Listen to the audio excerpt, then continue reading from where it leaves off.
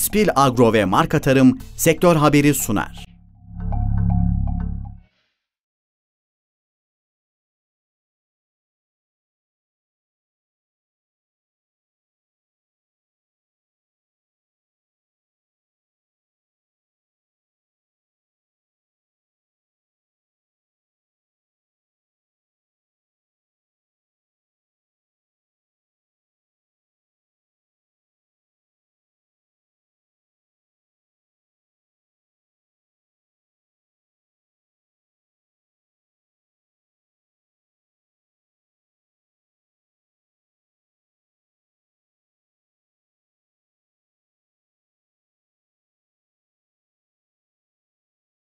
Değerli dostlar, Köy TV ekranlarından hepinize hayırlı akşamlar diliyoruz. Bu akşam e, özel bir günde sektör haberle karşınızdayız. Biliyorsunuz biz sektör haberi sahada veya stüdyoda çekiyoruz ama sektör analizi cumartesi sektör haberde dediğim gibi saha ve stüdyoda bayağıdır da yapmamış işin hakikati. Bu akşam yine sektör haberde e, önemli bir konuyu konuklarımla beraber e, sizler için ekrana getireceğiz. E, bu akşam e, sektördeki iki tane firmamız var. Kardeş firmamız. Hem bu firmalarımızın faaliyetlerini sizler için ekrana getireceğiz. Spil Agro ve Marka Tarım.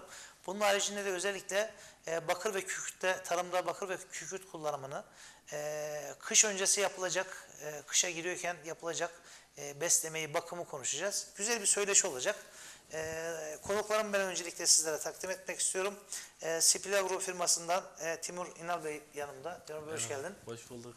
E, Timur Bey tabii bizim sektörde bunların çoğu e, dostlarımız, yıllardır beraber sektörde olduğumuz. Yine e, Yüksek Ziraat Mühendisi Serkan Karakılıç kardeşim var. Yine Köy TV ekranlarının arasında yıllar önceden tanırsınız. Serkan sen de hoş geldin. Hoş bulduk abi. Yuvana ailene hoş geldin diyelim. Buraya yabancı değilsin. Evet. Yine e, bir kardeşimiz var Konya'dan katılan Ali Rıza Kızıl Öz. Doğru söyledin değil mi? Evet doğru. E, Ziraat Mühendisi. Ali Rıza sen de hoş geldin. Hoş bulduk. E, değerli dostlar güzel bir söyleşi olacak. Bu akşam biz Spil Agro'yu ve marka tarımı sizler için e, biraz tanıyacağız. Neler yapıyorlar? Özellikle bakır ve kükürtte güzel ürünleri var. Bunlar özellikle nelerdir? Biraz detaylandıracağız. Güzel bir söyleşi olacak. E, Serkan e, öncelikle e, tekrar hoş geldin. Hoş E, bir kısaca seni bir tanıyalım. E, tanımayan izleyicilerimiz olabilir. E, onun haricinde de e, Spil Agro ile ilgili neler söylesin bu firmamızın faaliyet alanları neler? Çiftçilerimize hangi ürünleri sunuyorlar? Farklılıklar neler? Söz sende. Tabii ki. Öncelikle e, bizlere burada yer verdiğiniz için teşekkür ederiz Cemil Bey. E, bizler tabii yani uzun yıllardan beri sektördeyiz. E, gübre konusunda ve toprak düzenleyicileri konusunda çalışmalarda bulunduk.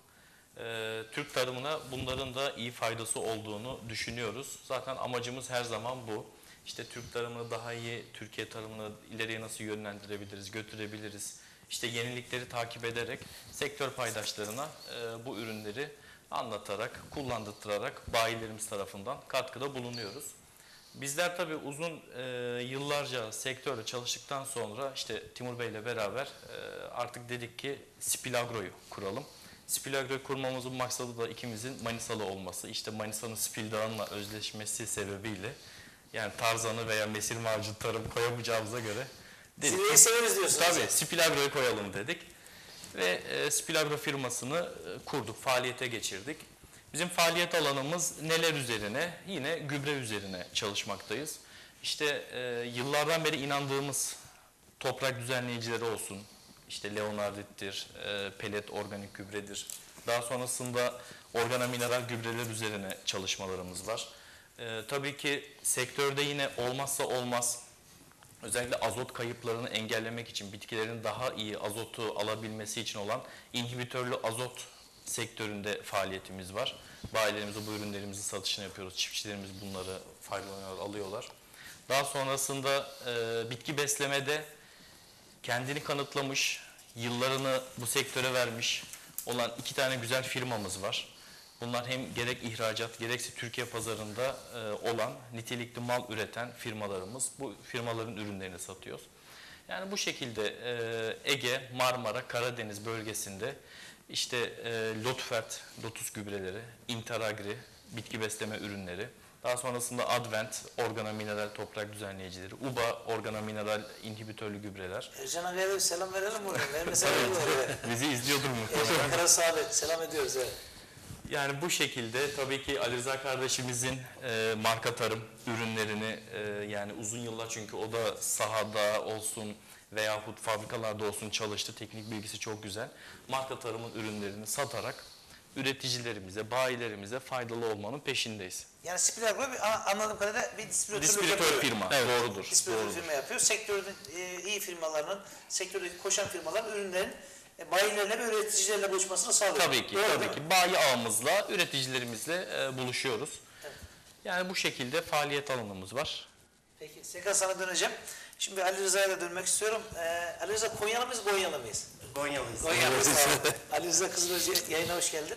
E, marka tarımı bir tanıyalım senden. Öncesi kendini bir tanıt. Ondan sonra marka tarımı tanıyalım. Ondan sonra tabii e, iki tane mühendis yakaladım. Biraz tekniğe de gireceğiz. Bunlara matematik, fizik, kimya biraz sıkıştıracağım bakalım ne çıkacak.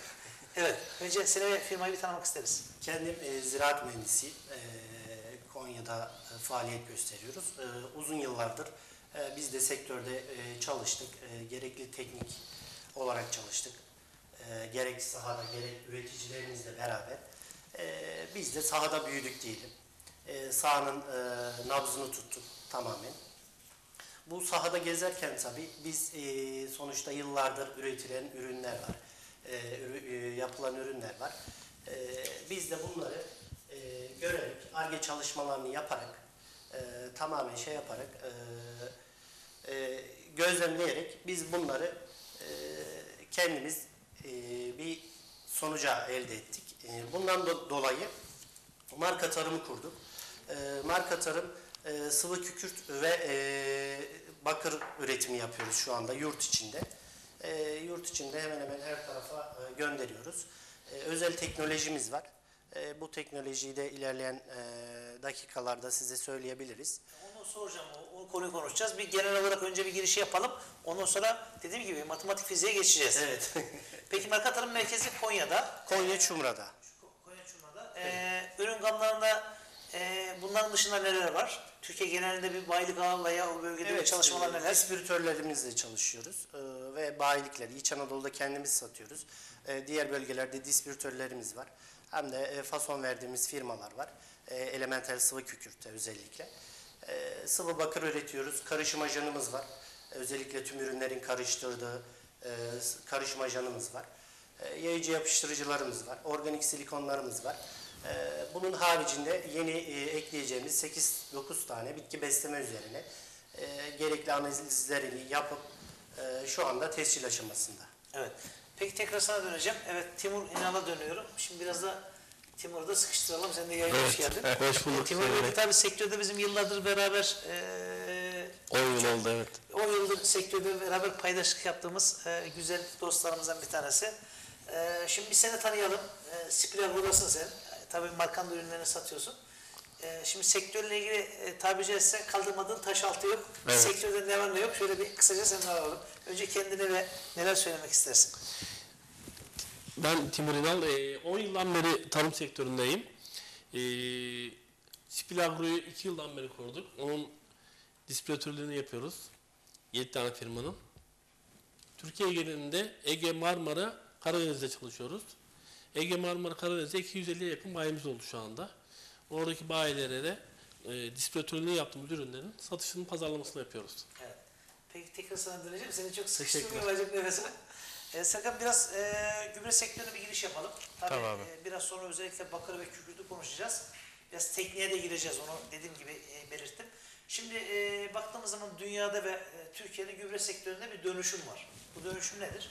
Biz hep bunu yayında söylüyoruz. İşte gerek yeşil kuşak anlaşmamızdan kaynaklanan, e, gerekse artık özel ve klasik gübrelerden e, klasik gübrelerden özel gübreye doğru bir geçiş var. Evet. Yani hepimiz bunu görüyoruz. Büyük firmalar da bunlara yatırım yapıyor.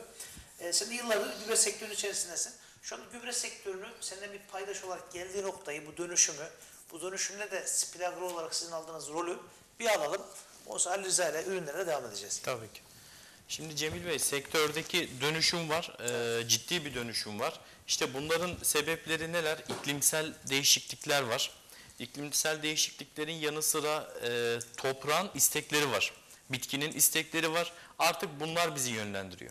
Eskiden işte bir şey vardı, e, tek düzen vardı. işte klasik gübre kullanılır. Misal veriyorum veya toprak altı gübresi bellidir, üst gübresi bellidir. Başka da bir şey yoktu. Şimdi e, sektörde artık organomineral gübreler toprak altında kullanılıyor. İşte inhibitörlü toprak altı gübreleri kullanılıyor. Daha sonrasında e, damla sulama gübrelerinde mesela çok özel yani bitkiye elverişli yüzde yüz fayda sağlayacak olan ürünler kullanılıyor. İşte bitki besleme sektöründe eskiden ne vardı? Hümik asit vardı.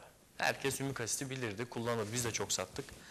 Faydası var ama hümik asitin de üstünde artık firmalar ürünler üretmeye başladı. Uzun yıllar ARGE çalışmaları yapıp bunun içerisine işte misal veriyorum mutfakta bir çuval fasulye var. Ama o fasulyeyi daha lezzetli hale nasıl getirip de bir tencere yemek pişirebiliriz? Herkes onun maksadında, amacında. Ve Türkiye'de biz bunu gördüğümüzde yani gerçekten çok nitelikli, başarılı ürünler üreten firmalar var. Eskiden hep bir şey vardı. İthal. İthal ürün kalitelidir. İthal ürün güzeldir. Ama biz şimdi bakıyoruz bizim Türkiye'deki çoğu firmalarımız ihracat yapıyor. En az yani ihracat yapan 10 ülkeye ihracat yapıyor. Bu da bizim için gurur verici tabii Ki en son Antalya Growth'taki fuarında bunu gördük. İnanılmaz Tabii bir ki, ticari tabii ki. oluyor. Tabii ki. Yani fuar alanında da gördük. İşte distribütörünü yaptığımız fabrikaların e, arazilerine gittiğimizde yani sana, fabrikalara gittiğimizde de gördük. Hiç yoksa hepsinin yanında 10 tane ülkeden şey vardı, e, firma vardı. Hep bir bağlantı aşamalarındaydı. Yani bu da bizi mutlu ediyor. Neden? Çünkü sektörü artık belirleyen ülkeler arasında olmaya başladı Türkiye. Yani biz de burada rolümüzü nasıl çiziyoruz? Şu şekilde çiziyoruz. Çiftçiye faydalı ürünü bayiyle buluşturuyoruz. Çiftçiye faydasız ürünü hiçbir şekilde üstünde durmuyoruz. Yani evet de ticari bir kaygımız var. Kazanmamız lazım. Ama öncelik çiftçinin kazanması lazım. Çünkü bu da zaten sonrasında sofraya değiyor. Yani hepimize değiyor baktığınızda. Kesinlikle. Yani maksadımız o. olunca herkes mutlu oluyor. Tabii ki, Doğru. tabii ki. İşte biz ne yapıyoruz? Yani dediğimiz gibi toprak düzenleyicilerini kullandırıyoruz. Mesela şu an eskiden hep Leonardit, Leonardit, Leonardit. Şimdi Leonardit'in üstünde ürünler var. Firmalar üretmiş. İçerisine hem kükürt koymuş, hem Leonardit koymuş, hem bazı e, onu daha iyi bitki tarafından ve toprak tarafından faydalanabilecek olan etkenler koymuş. Bitki gelişim düzenleyicileri koymuş. Bu şekilde ürünler satıyoruz. İşte kök gübresi olarak analiz sonucunda her bayimiz zaten analiz yaptırmayı teşvik ediyor, üreticisine söylüyor.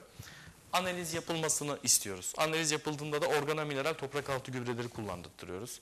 Azot kaynağı olarak inhibitörlü azotları kullandırtıyoruz. İşte şimdi kış uygulamalarında e, marka tarımın ürettiği bakırımız var. E, bitkileri yani hastalığa karşı şey yapsın diye, direncini arttırsın diye olan bakırımız var. Onun içerisinde mesela bitki besleme ürünlerini de karıştırabiliyoruz. İşte bitkinin hasat sonrası ihtiyaç duyduğu ba- bazı elementler var. Evet. Bu karışılabilirliği olan bir ürün. Bu da çok önemli. Çünkü yani maliyetler yüksek. Maliyetleri aza indirmek için de ne yapmamız lazım?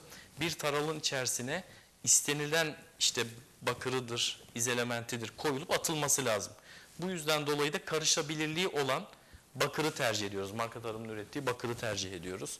Ee, yani bu şekilde dediğimiz gibi hani tamamen üreticiye faydalı, işte üreticinin daha iyi ürün üretmesini sağlayan ürünlerin peşindeyiz. Evet. Yani şeyimiz yok. İlkel işte abi sana e, isim vermiyorum şimdi işte klasik gübre şu lazım bu lazım yok yani. Peki Serkan tekrar döneceğim. Şimdi tabii topu Ali Rıza'ya atalım. Bir bakırımız var burada.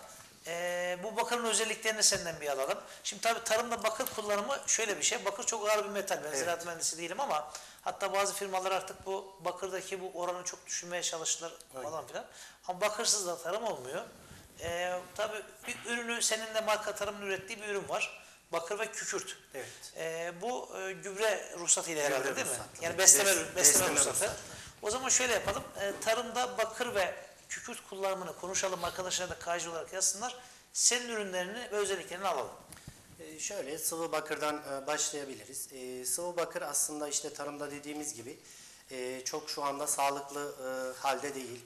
E, Tüm firmalar tamamen bakırdan e, kaçmaya odaklı.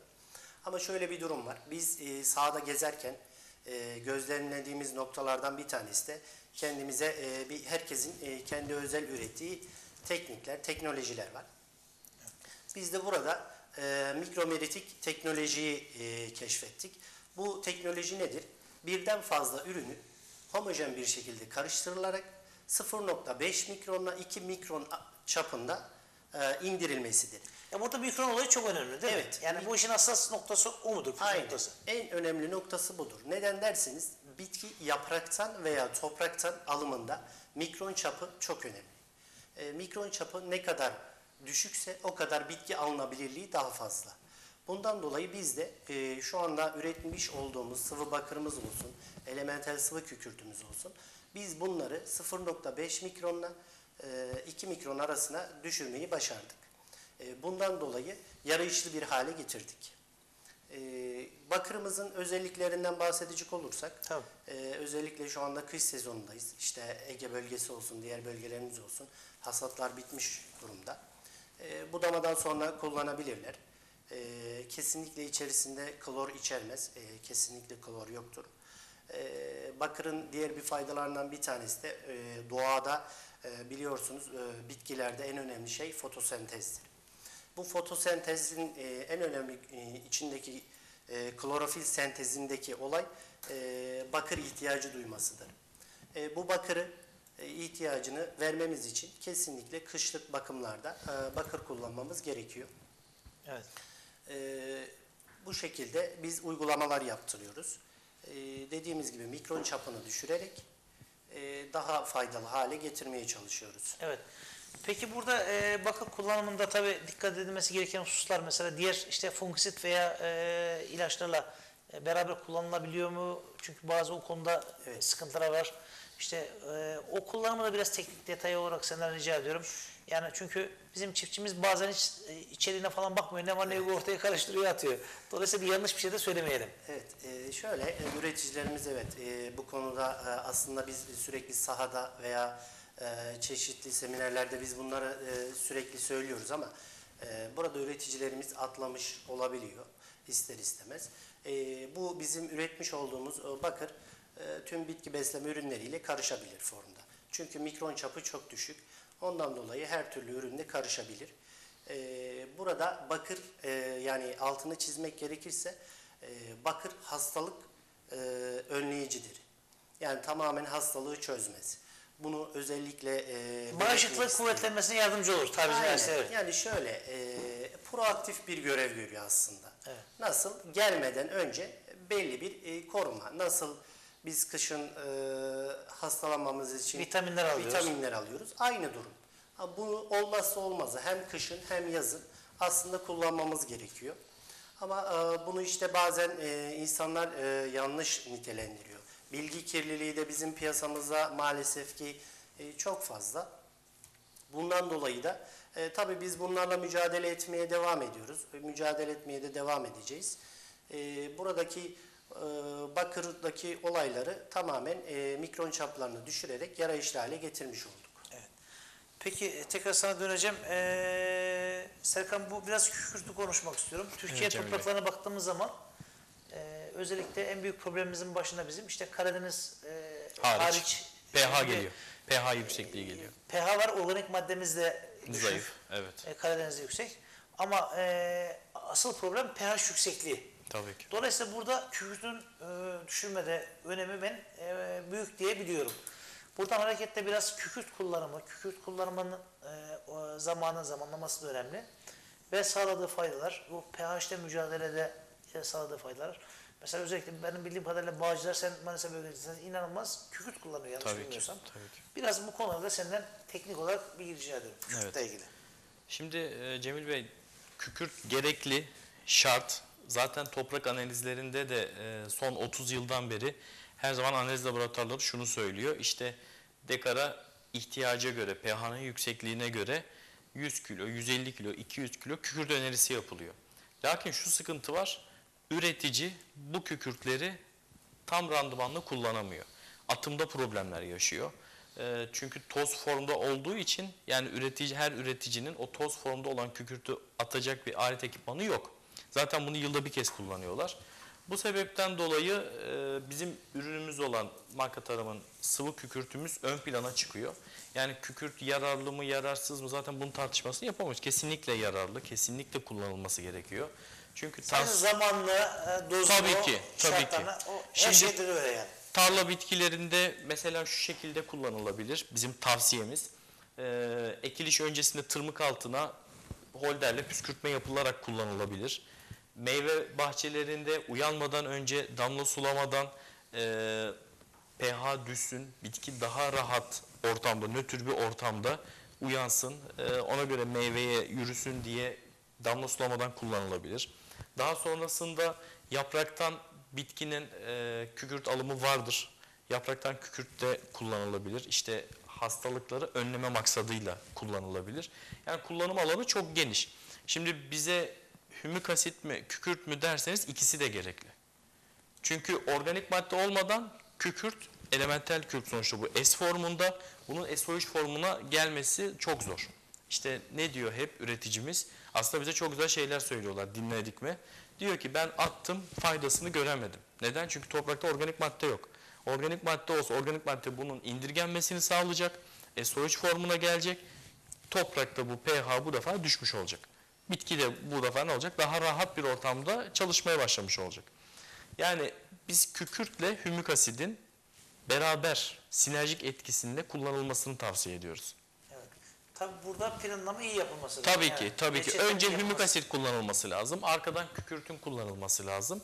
Ki böyle olduğunda yani her üreticimiz deneyebilir. Çok muhteşem sonuç elde ediliyor. Evet. Yani bizim istediğimiz ideal toprak özelliklerine bu şekilde kavuşabiliriz. Hem kullanımda e, bir zorluk yok. İşte damla sulamadan zaten üreticimiz sulama yapıyor. Sulama yapıyorken kullanabiliyor.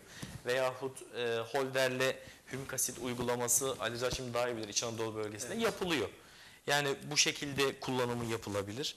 Yani kullanıldığında ikisi beraber çok daha güzel sonuç veriyor. İç Anadolu demişken onu anlatalım biraz. Orada nasıl özellikleri şeyle mi atılıyor, holderle mi atılıyor orada? Ee, İç Anadolu bölgesinde e, genellikle topraktan kullanıyoruz. Yani holder uygulamaları biraz daha az. Genelde bahçe grubunda herhalde ho- Aynen. holder- Bahçe, bahçe grubunda holderle kullanılıyor. Yani bizim bitki, bitki besleme üzerindeki ürünler genellikle yapraktan e, holderle kullanılır. Ama sıvı kükürt e, veya hümik asit bunlar e, bizim e, çiftçi tabiriyle çıkarma suları diyoruz. Bu çıkarma sularında İç Anadolu'da tamamen e, yıllardır uyguluyorlar. E, yani daha önceleri hümik asit uyguluyorlardı. Tabii e, kükürt çok fazla piyasada yayılmadığı için, olmadığı için e, sürekli sıvı e, sıvı hümik asit kullanıyorlardı. Ha şu yaklaşık 2-3 yıldır e, sıvı kükürde de çiftçilerimiz, üreticilerimiz alışmış durumda. E, bundan dolayı çıkarma sularında veya sezon içerisinde diğer sulamalarında yağmurlamadan, damlamadan sürekli kullanıyorlar. Evet. Peki biraz İç Anadolu'yu da konuşalım. Tabii kuraklıkla ilgili sıkıntılarımız da var. Evet. Yani burada aslında biz nasipse inşallah bir akşamki programda da konuklarla Türkiye'nin eee, su ve eee, kuraklıkla ilgili yaşayacağı eee, problemleri sektör analizde konuşacağız detaylı bir şekilde. Eee tabii ama işte bu maliyetlerden dolayı mesela orada benim çiftçi dostlarım var ya gübre atım olayı da daha az yani işte atıyorum 10 ton atıyorsa sallıyorum 5 tona düştü. Biraz İç Anadolu'da güncel olarak yani program formatı biraz bugün şey ama bir genel tanımada konuşmak istiyorum. Çünkü İç Anadolu bizim e, tarımın kalplerinden birisi. E, çiftçinin durumu ne İç Anadolu'da şu anda? Yani oradaki hayvancılıkta ciddi sıkıntı var onu biliyorum. Aynen, hayvancılık O- onu, var. onu biliyorum yani. Dükkan kapatmak üzere. Ama genel manada bir e, kuraklıkla ilgili e, problemler, onun haricinde verim kayıpları, işte bu sene çiftçi ekebildi mi? Biraz İç Anadolu ile ilgili neler söylesin? Ya işin açıkçası e, üreticilerimiz İç Anadolu'da e, sezon başına girerken e, en önemli noktalardan bir tanesi gübre problemiyle karşılaştı. Evet. Nedir? Gübre maliyetleri çok yükseldi. E, yani 4 katına 5 katına çıkan gübrelerimiz var. Zirai ilaçlarımız var. Yani şöyle e, özellikle arpa buğday altına taban gübresi kullanmayan çiftçilerimiz var. Birebir e, Taban şahit atmazlar. oldum. Evet kendi üreticimdir. Birebir Ne şahit kaybı olacak mesela mühendisin bunu kullanmadı, verim kaybı olacak. Verim kayboldu. Tamamen verim kayboldu. Yani şöyle söyleyeyim. Normalden dekardan e, 500 kilo alıyorsa 100 kiloya düştü bu. Bu da ne olacak? Bizim için tamamen ülke ekonomisi için problem. Yani ne kadar az verim o kadar bizim için problem. Neden? E, sürekli yurt dışından bu sefer biz takviye yapmaya çalışacağız. Ama ülkemizin ve İç Anadolu'muzun toprakları gayet iyi, güzel. Yani tamamen tarıma elverişli. Aslında biraz daha tarıma e, destekler artırılmalı. Yani daha e, güzel olur. Yani üreticilerimiz gübre problemiyle çok sıkıntılar yaşadı. Su problemi hakeza onun takip etti. Nasıl? Su özellikle kooperatiflerimizde fiyatlar çok afaki arttı. Elektrik maliyetinden dolayı. Aynen maliyetten dolayı. E, Bundan dolayı çiftçilerimizin çoğu sulamalarını azalttı. Az su verdi. E, Bu şekilde de tamamen verim kayıpları yaşadık. E, Ne kadar verim kaybı yaşarsak o kadar bizim ülkemiz için problem. E, İç Anadolu'da biz bunları tamamen gözlemledik. E, İnşallah iyi olur diyoruz. Yani e, destekler artırılır diye tahmin ediyoruz. E, Yani şu an için çiftçilerimiz muzdarip. Özellikle şu anda İç Anadolu'da e, yaklaşık bir, bir buçuk aydır e, mısır hasadı gerçekleşiyor. Halen e, yapılmayan e, nemlerden dolayı, nemler e, hava şartlarından dolayı e, hasat uzadı. Uzadıkça maliyetler artıyor. Uzadıkça maliyetler arttı. Maliyetler artmasından da ziyade ürün fiyatı yarıya düştü. Fiyat belli oldu mu? Fiyat şu anda 4200'lerde. Ee, yani Nisan ayında 6 lirayı gören fiyat e, şu anda 4200'lerde olması 8 bin lirayı dışarıdan alır sıkıntı yok. aynen dışarıdan da bayağı alım oldu. Ee, bundan dolayı e, şu anda İç Anadolu olarak Konya Konya olarak yani üreticilerimiz çok stresli, sıkıntılı durumda. Çünkü biçtiremiyor, e, biçtirmek istemiyor. Biçtirse de e, deposunda tutabileceği bir durum yok. Herkesin e, gerekli borçları var, ödemeleri var. Herkes planlamasını hasat sonuna göre yapıyor. Ondan dolayı yani fiyat açısından özellikle Mısır'da e, çok muzdaribiz. Evet. Peki tekrar sana döneceğim. Ee, Timur Bey sana döneyim bir Serkan'da bir Şimdi Timur da geldi buraya heyecanlı ama Ben biraz, ilk programım olduğu için bir- kusura biraz, bakmayın. biraz pas atalım. Evet. Şimdi Türkiye'deki bayilik ağımız nedir bizim Spilag orada biraz onu konuşalım. Şimdi Ege bölgesi, Marmara bölgesi, Karadeniz. Karadeniz sonradan ilave oldu. Ege bölgesinde Marmara'da zaten e, daha önceden de çalıştığımız bayiler vardı. Bu bayiler üzerinden tekrardan bir Spilagro olarak e, 6 tane firmanın distribütörünü yapıp orada ürünlerini pazarlamaya başladık. E, hızlı bir şekilde ilerledik. Çünkü network'ümüz daha önceden biraz olduğu için şimdi oralarda biraz daha rahat satış yapabiliyoruz. Evet. E, sattığımız ürünlerden Lotus, Lotufert, bitki besleme olarak Advent organellerini satıyoruz. Orada özellikle daha önce sattığımız Leonard, kükürt Leonard var, onu satıyoruz. Tanıdığımız bir ürün, bildiğimiz bir ürün, çok rahat satıyoruz. Interagri'den bitki besleme ürünlerini satıyoruz. UBA, organel, yavaş salınımlı gübreleri ve damlama gübrelerini satıyoruz oradan da. O şekilde şu ana kadar e, Ege, Marmara, Karadeniz'de 250'ye aşkın bayimiz oldu. Bir de marka var Timur Bey. Bir de, evet o, o zaten Yanımızdaki adamı unutmayalım. Evet, bu şekilde. Peki sektörü sen nasıl görüyorsun abi? 10 yıldır sektördesin. Valla sektör e, esasında Türkiye'nin ekonomisini düzeltecek bir sektör. Çünkü İç Anadolu bölgesi hububat yatağımız. E, her karışına karışına buğday, arpa dikmemiz gereken bir olay var ama işte gübre fiyatlarından şeylerden dolayı ne yazık ki çiftçilerimiz yapamıyor. Mazot parasından dolayı. İnşallah düzelecek. Her karışına buğdayı, hububatı dikip Türkiye'mizi kalkındıracağız. Evet. Her tarafa ekin diyorlar ama nasıl ekeceğimizi de söylemiyorlar. İşte, yani. Yani onu ekebilmek için de işte ekonomi düzelmesi lazım. düzelmesi lazım. Evet. Peki e, şimdi Timur'un çok üstüne gitmeyelim. Gidince heyecanlanıyor. Bey sana döneyim. Evet, canım. Şimdi e, kış e, artık yavaş yavaş kışa doğru geliyoruz. Tabi bazı bölgelerde yağışlar var ama bazı bölgelerde gerçekten yağış değil. Evet, kuraklık var. Kuraklık var. Gübreleme programı nasıl olmalı? E, burada dikkat edilmesi gerekenler. Bir e, hububattan başlayalım. Yani tarla e, bitkilerindeki e, gübreleme programı, sağlıklı program nasıl olmalı? Ondan sonra da yine diğer konulara gireriz. Evet. Genelde Şimdi bu- konuşabilirsin. Hububatı ondan sonra Tabii ki, bahçe tabii konusunda fark etmez yani. Hububattan başlayalım. Kış dönemi gü- e, bakım, besleme ve gübreleme diyelim. KJ'de arkadaşlar o şekilde yazsınlar. Evet. Şimdi aslında öncelikle her zaman söylüyoruz. Ne olursa olsun gübreleme öncesinde toprak analizi. Bugün bir doktor hekime gittiğimizde ne yapıyor Cemil Bey? Diyor ki tahlillerini ver, sonuçlarını değerlendirelim. Bizim sektörümüzde de bizim bunu oturtturmamız lazım.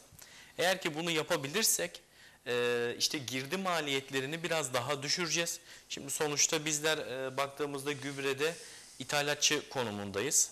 Yani bu da bizim ne olacak? Daha az gübre almamızı e, sağlamış olacak. Yani bitkinin azota ihtiyacı varsa işte fazla bir fosfor vermenin, fazla bir potasyum vermenin bir mantığı yok.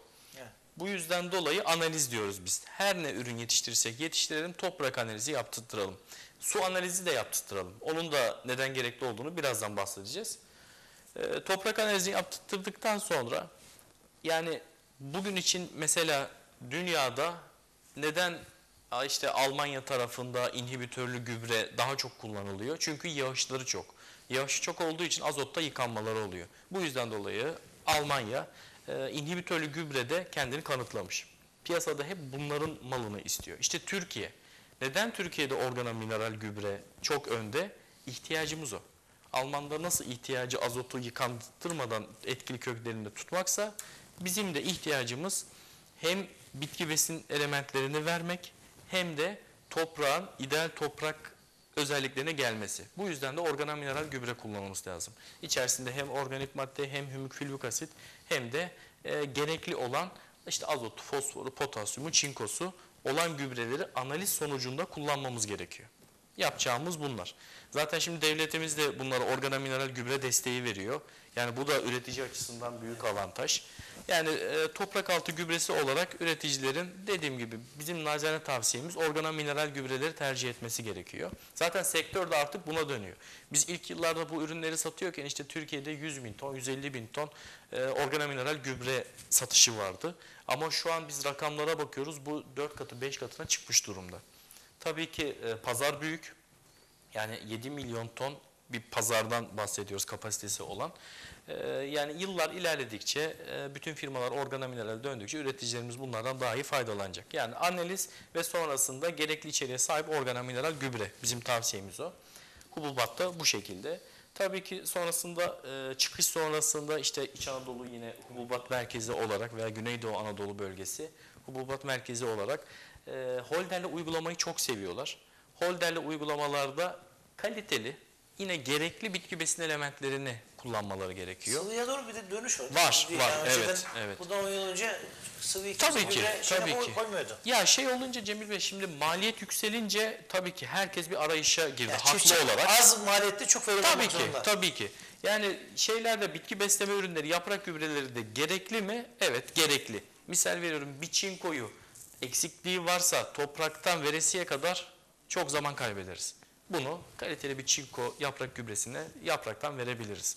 Yanına işte bazı aktivitörlerdir, amino asitlerdir, deniz yosunlarıdır. Bunlar da artık ihtiyaç. Çünkü dünyadaki en büyük problem iklim değişiklikleri. İklim değişiklikleri de bizi işte bu şekilde amino asitlere, deniz yosunlarına, bazı aktivitörlere yönlendiriyor. Bunlar olmadan olmuyor. Olduğunda ne oluyor? Bitki daha o anki olumsuz şartlara karşı dirençli oluyor, kendini hazırlıyor. Böyle bir yapısı var, kapasitesi var. Yani yapraktan hububatta dediğimiz gibi gerekli e, bitki besin elementlerinin kullanılması gerekiyor dönemine göre. Daha sonrasında tabii ki ekiliş öncesinde yine kükürt dediğimiz gibi kullanılması gerekiyor hububatta. Orada toprak ıslama, ıslaması yapılarak. Bu da ciddi manada toprakta geçirgenliği arttıracak. E, toprağın porozitesini, gözenekliliğini çoğaltacak. Daha sonrasında pH'sını işte tansiyonunun ideal tansiyon seviyesine gelmesini, pH seviyesine gelmesini sağlayacak. E, yani ekim öncesinde kükürtün de kullanılması gerekiyor. Sonrasında üst gübresinde inhibitörlü gübreler, kontrollü salınımlı azot kaynakları kullanılması gerekiyor. Yani bu da yapılan çalışmalarda çok ciddi manada birim alanda az azot kullanımını gösteriyor bize. Bu da maliyet hesabı yani. Hem bitki daha çok faydalanıyor hem de daha az girdi kullanılmış oluyor. Daha az tonajlı ürün kullanılmış oluyor. Bu da baktığınızda daha az işte ithalatı bize yönlendirmiş oluyor aslında baktığınızda. Hepsi birbirine doğru orantılı. Tabii ki sonrasında yine işte hububatta kardeşlenme, başaklanma döneminde de e, yine gerekli bitki besin elementleri kullanılarak hasada giriliyor. İşte bahçe bitkileri ürünlerinde şu an kışlık sebzeler var. Kışlık sebzelerde de yine kullanımında e, gerekli olan işte dengeli damloslama gübreleri kullanılabilir. Ekilişler çünkü oldu şu an. Toprak altı atan da var, atmayan da var. Üst gübresi olarak e, aktivitör kesinlikle kullanılması lazım. İşte bugün biz geliyorken klima açtık mesela. Evet. Yani iklim gerçekten Yalnız problem. bölgede de şöyle işte mesela gündüz sıcaklıkta gece de arasında 20-25 derece ki, var. tabii ki. O da bir sürü problem yaratıyor. Evet, evet. Bununla alakalı mesela bizim bir firmamız e, aktivitör üretti. Uzun yıllar ARGE çalışmasını yaptılar, e, teknik çalışmalarını yaptılar. En sonunda tescillendirdiler bu yıl satışına başladık. ama ürün yani bitkinin sinir uçlarına değiyor. Misal veriyorum kök çalışması yaptırtacak. Köke yönlendiriyor bitkiyi. İşte çiçek öncesinde kullanılacak. Çiçeğe yönlendirtiyor. Ee, kış sebzelerinde de bu şekilde ürünlerle kullanılması gerekiyor. Tabii meyvelerde şimdi zeytin özellikle e, Türkiye'de bizim göz bebeklerimizden bir Altı tanesi. hasat, hasat ediyoruz. Bunu Evet, düzenlememiz lazım ya. Böyle bir şey yok ya. Biz nereye gitsek bir yerde hasat Abi makineye geçip bu işi çözmemiz lazım. Ya 6 ay bir insan bahçede buna ne can dayanır, ne ağaç dayanır, ne ya işçi dayanır ben anlamıyorum. Nasıl bir Kesinlikle, şeydir ya? Bunun kesinlikle. çözülmesi lazım evet. Zeytinde hasat sonrasında e, bizim bakır uygulamamız var. Banka Tarım'ın ürettiği bakır uygulamamız var. Bunun içerisinde izelement kesinlikle takviyesi öneriyoruz. Neden öneriyoruz? Şimdi zeytinde periyodizite var. Bir yıl verip bir yıl vermeme olayı var. Ben ona inanmıyorum da öyle bir şey söyleniyor yani. Bu şeyde var, bilimsel olarak Var var, var. Neyse. Ama şu şekilde giderilebilir. İyi bakım, iyi besleme ile periyodizite azaltılabilir. sen Atıyorum mesela 6 ton veren bir bahçe eee 1 ton veriyor. Bu yani bu olmaz. Ama 6 ton veren 3 ton 4 ton Evet, verirse evet, tamam evet. Buna, buna itiraz etmem. Tabii ki. Ama öyle bahçe var ki 6 ton ertesini hiç vermiyor. Bu var yok yokla alakası yok. Yok. Yani Bakımla, bakım ve tabii ki, alakalı. tabii ki. Şimdi- ben mühendis değilim yanlış anlama da. Ama hepimiz görüyoruz yani sahada. Tabii ki. Yani benim gördüğüm o bilmiyorum. Şimdi üreticimiz işte şunu düşünüyor. Diyor ki bu yıl diyor vardı diyor. Seneye yok diyor. Buna bakmaya gerek yok diyor. Ama böyle bir şey yok. Şimdi biz diyor muyuz ya ben bugün işe gitmeyeceğim. Ben bugün sabah kahvaltı yapmayayım. Öğle yemeği yemeyeyim. Böyle oldu mu beslenmede düşüklük oldu mu vücuttaki denge de bozuluyor. Aynı şekilde zeytin ağacının da dengesi bozuluyor. Yani her yıl düzenli bir şekilde bitki beslemesi, gübrelemesi yapılması lazım. Periyodiziteyi kıracak olan bir tane etkenlerden olan da bakır uygulaması ve hasat sonrasında bakırla beraber izelement uygulaması. Evet. Bunu da araştırdığımızda çok güzel sonuçları var. İşte toprak altında yine biz organomineral gübreyi zeytin döneminde uygulatmak istiyoruz. Bir de toprak düzenleyicisini muhakkak istiyoruz. Çünkü yaptığımız saha çalışmalarda o Timur Bey'in bahsettiği kükürtlü leonardlı toprak düzenleyicisi yani ağacın e, zaten zeytin ağacı genelde yüzeysel kökü var. Yüzeysel kökü olduğu için de yukarıdan yani gübrelemeyle verdiğiniz her şeye çok hızlı etki veriyor, cevap veriyor. Bu yüzden dolayı gübreyle beraber çok güzel sinerjik etkisi var. Kükürtlü leonard ve organomineral gübrenin. Sonrasında budama yapıldıktan sonra bir daha bakır uygulaması tavsiye ediyoruz. Çünkü e, makas yaraları, testere yaraları oluyor. Oralara aslında aşı macunu kullanılması lazım. Ama zeytinde onu yapamayız. Şimdi söylersek üreticimize ya bunları hiç Ya sen ona bak şimdi şöyle Tarlaya girmedi mi derler? Şunu gördüm mesela bir tane 809 ağaç var abi. E, na, şeyde Narenciye de gördüm. 100 tane ağaçta hastalık var abi. Ertesi günü 300'e çıkmış. tabii ki, yıl. tabii ki. İşte bu makası oradan dezenfekte etmeden, Etmeden, aynen, diyor ki aynen. kendi kendimize. Ya şimdi tamam eee şartlar zor da bizim çiftçimiz de ya, yani ellerinden öpüyorum. Biraz e, te, tembel demeyelim de ya biraz daha dikkat etmesi Tedbirli lazım. olması Bir gerekiyor. zor bir şey değil yani onu bir dezenfekte edeceksin yani. Cemil Bey bir de artık şey var. Mahsul para ediyor. Evet. Şimdi bugün bir kasa zeytin 500 TL'den aşağı değil. Üretici Etsin topladığında. sesini çıkarma ya. Vallahi etsin, ya. Etsin. Etsin Demek istediğim şu. Aman. Artık bizim her ürün göz bebeğimiz. Şimdi sözümü unutma ben bu pandemi pandemi başlayınca 3-4 sene önce böyle bizim bakan arkadaşlar vardı. Lan getiririm dışarıdan ithal ederim ha diyenlere dedim ki burada gün gelecek dedim bak yiyecek ekmek içecek süt bulamayacaksınız. Bu çiftçinin eline ayağına. Çiftçilere de o zaman dedim ki vallahi siz üretin gün gelecek ki ağaçsız olacaksınız dedim. Ki hakikaten de öyle şu yani an. hiç kusura bakmayın çiftçi ağa şu anda. Hiç Tabii, kusura bakmasın. tabii. Çünkü hak etti bunu. Yapmamız gereken Hayvancılar perişan. Ona bir şey demiyorum ama şu anda özellikle bizim bu şey grubu bahçe grubu biraz iyi. Evet. İşte yapmamız gereken o birim alanda ne kadar daha kaliteli mahsul alabiliriz, ne kadar iyi ürün alabiliriz. Şimdi zeytinden bahsettik. Zeytinin işte numarası var biliyorsunuz. Duble zeytinle en e, numarası düşük olan zeytin arasında dağlar kadar fark var. Evet. Yani budamadan sonra bakır uygulaması yapmamız lazım. Sonrasında ağaç uyanmaya başladığında e, azotu az olan bir yerse azot uygulaması yine inhibitörlü azotlarla, kontrollü salım azotlarla 5 dakika dedi şimdi. kullanılması lazım. Ali Rıza da sana da şey söyleyeyim. Toprak hazırlığı başladı şu anda birçok bölgede. Evet. Burada bazı yapılan yanlışlar, doğrular var. Bir iki dakika onu alayım. Ya e, bir tane izleyicim bir e, tabii ben normalde bu programda çok soru almadım ama şöyle ısrarla yazmış. Onu okuyayım ondan sonra. Selamünaleyküm koç yiğitler. Ben Sivas'ın Canavar köyünden bir vatandaşım. Biz çiftçilik yapıyoruz ama devlet yardım etmediği için yapamıyoruz. Şeker pancarı ekiyorduk ama devlet yardım etmediği için yapamadık. Ancak ensesi kalanlar yapıyor. Burada devlet büyüklerine söyler misin baba yiğitler akşamınıza şey düşmesin dayı oğulları. Abi ellerinden öpüyorum senin. Ee, ben her zaman söylüyorum ee, bizi yönetenler. ee, bak çiftçimiz ee, darda, çiftçi dara düşerse hani diyor ya kerkük dara düşerse çiftçimiz darda, çiftçi dara düşerse e, gerisini siz düşünün. Çok da konuşamıyoruz. Dolayısıyla Ali Rıza, şimdi ben bu konulara gelince benim şey kopuyor. Aslında abiye buradan e, bir şey söyleyeyim. E, Yani şeker pancarı e, aslında bu senenin en fazla fiyatlı ürünü. Yani şöyle söyleyeyim, diğer ürünlere nazaran şeker pancarı bu sene çok güzel Ama destek yok diyor. Maliyetin, yani demek ki maliyetler çok fazla yani. Ya maliyetler çok E, fazla. evet. Yani maliyetler aşırı fazla. Ama şeker pancarı örnek veriyorum e, seneye daha fazla ekileceğini düşünüyoruz. Yani İç Anadolu olarak. E, insanlar çünkü Mısır'dan ağzı yandı. E, şeker pancarına bir geçiş var. Ha devletin e, tabii bunlara el atacağını düşünüyoruz Evet. yeni sezonda. Toprak hazırlığı ile ilgili son birkaç cümle alayım. Ondan sonra Timur Ay'la bitirelim. Tamamdır. E, toprak hazırlığında e, Çünkü o da önemli bir konu. Aynen çok çok önemli bir konu. Toprak hazırlığında dediğimiz gibi daha önceki yıllarda üreticilerimiz e, e, kimyasal gübreler kullanıyordu. Ha, e, şimdi e, nasıl ki e, biz gelişiyoruz yani e, teknoloji gelişiyor. Onun için şu anda da tarımda da teknolojiyi ileri safhalara getirdik. E, kesinlikle e, organomineral de olsa, mikrogranül dediğimiz e, gübreler var. Onlar da olsa tamamen e, kullanmamız lazım. Çünkü en önemli kaynak bitkinin alana, alabileceği en önemli yer köktür. Yani yedisinde neyse yetmişinde de insan aynı, bitki de aynı. E, kökten kesinlikle taban gübrelerimizi kullanmamız gerekiyor. Bu şekilde tavsiyeler verebiliriz Peki teşekkür ediyorum Timur Bey. Güzel bir program oldu. Bir dahakine görüşmek üzere. İnşallah.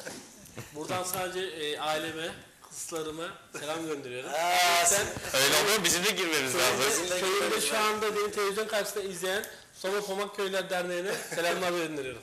Peki, evet son selamlarınızı alalım. Tabii. Şimdi Senin kız daha önce burada program yapıyor, bebekti değil mi? bebekti. Evet. E, tabii annesi şey yapıyordu, gösteriyordu işte kızım bak baban ama o agı agı diyordu o zaman. Başka bir şey demiyordu.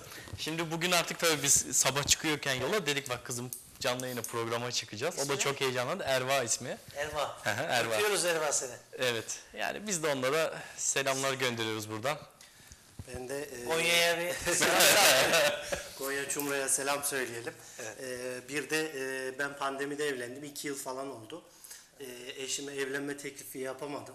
Ee, buradan kendisinden e, selamlar iletiyorum.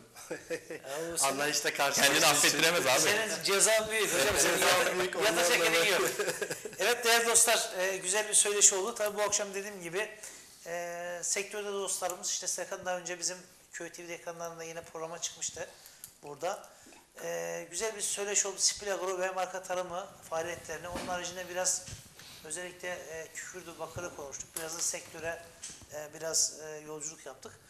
Ya e, tarım hayvancılık çok kıymetli. E, bunu en iyi bizi yönetenler bilir. Bizden daha iyi bilirler. Bilmeleri lazım. Çünkü pandemide şunu gördük. Ben burada pandemide Türkiye'de 30 akşam 30 program yapmış bir adamım. Yani çünkü birçok problem vardı e, çiftçilerin. Ekrana taşıdık sağ olsun. E, yönetenler de bunlara çözüm bulmaya çalıştılar. Mesela çay üreticileri gidemiyorlardı. Biz program yaptık. Ertesi günü devlet açıklama yaptı falan filan. Pandemide şuna gittik. Neye gittik? Markete, manava, kasaba gittik. Hiç kimse kata yatak gitmedi. Tarım olmazsa, tarım çünkü bizim bacasız fabrikalarımız. Tarım olmazsa bu iş olmaz. 80 milyon nüfusumuz, 20 milyon misafir, 100 milyon. Bunların karnının doyması lazım. Dolayısıyla tarım olmazsa olmaz. E, çiftçilerimiz de haklı olarak devletten desteğini bekliyorlar. E, önceki hafta mı ne sektör analizde e, Adana vekilimiz çok ilginç bir şey söyledi. Ya normalde bizim anayasamızda şey kanunla var bu. İşte milli gelirin yüzde birinin tarım bütçesine ayrılması lazım. Bu seneki bütçelerde yüzde 0.40. Yani kanunen çiftçinin hakkı olan hak da verilmiyor. E, dolayısıyla bizi yönetenlerin elini vicdanına koyup bu çiftçimize destek vermesi lazım. Tabi bu program formatı bu değil ama bunları da söyleyeyim çünkü gelen mesajlar var. Dostlara güzel bir söyleşi yaptık. Spil Agro'yu marka tarımı sizler için ekrana getirdik. İnşallah bundan sonra da köy TV ekranlarında tanıtımlar olacak. Ee, oradan da ulaşabilirsiniz. Ee, Serkan kardeşim, Ali Rıza kardeşim bakarsanız bize program olarak da başlayabilirler. Ona da bir ön bir sürpriz yapalım. Olursa e, onda görüşürüz. Hayırlısı olsun. E, bize ayrılan sürenin e, sonuna geldik. E, bir sonraki yayında görüşmek dileğiyle. E, bir aksilik olmasa cumartesi akşamı sektör analizde e, konu nedir bilmiyorum arkadaşlar belirliyorlar ama yine gündem değiştirecek bir konu ekrana getireceğiz. Tarım hayvancılık içinden bir şey olacak. Muhtemelen bağ olabilir çünkü pamuk konuştuk bağ kaldı. Zeytin olabilir. Onu planlıyorlar. Onu da duyurusunu yapacağız. Görüşmek dileğiyle. Hepinize hayırlı akşamlar diliyorum. E, Köy TV'den köyde hayat var.